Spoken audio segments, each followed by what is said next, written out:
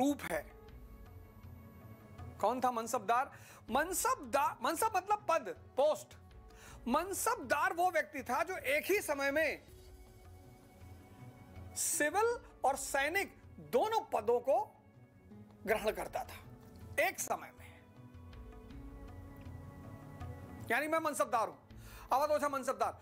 तो एक एक मनसबदार के रूप में मैं सैनिक भी हूँ। सैन्य पद भी मेरे पास है और सिविल सर्वेंट भी हूँ। इससे फ़ायदा क्या हुआ?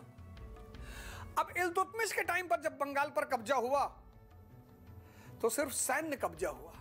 मिलिट्री ऑक्यूपेशन, सिविल एडमिनिस्ट्रेशन वहाँ के लोकल लोगों के हाथ में समझिएगा, इल्तुतमिश के समय पर जब बंगाल पर कब्जा हुआ तो सिर्फ़ मिलिट्री मिलिट्री, सैन्य कब्जा, मिलिट्री ऑक्यूपेशन सिविल जो प्रशासन है, वो लोकल बंगालियों के हाथ में तो जैसे ही दिल्ली कमज़ोर पड़ी और सेना बाहर निकली, बंगाल आज़ाद हो गया। लेकिन अकबर के काल में जब बंगाल पे कब्जा हुआ तो सिर्फ़ सैन्य कब्जा नहीं, सिविल कब्जा भी।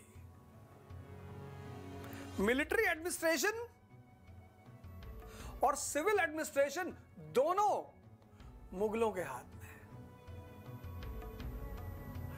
अब विद्रोह की कोई गुंजाइश ही नहीं बची।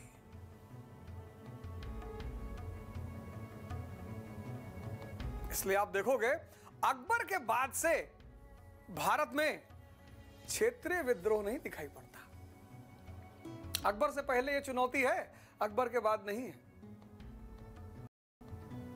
अब मनसबदारी में कुछ चीज़ें बड़ी प्यारी हैं, जात और सवार।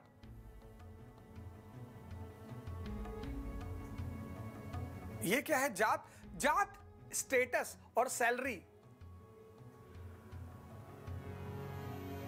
सवार, कितनी सेना उसको रखनी है?